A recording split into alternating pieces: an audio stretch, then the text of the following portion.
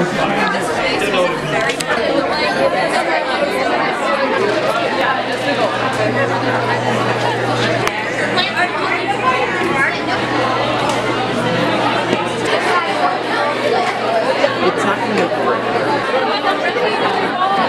Cupcake Wars this year.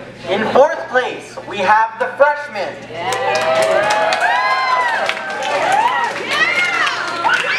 In third place, we have the sophomores.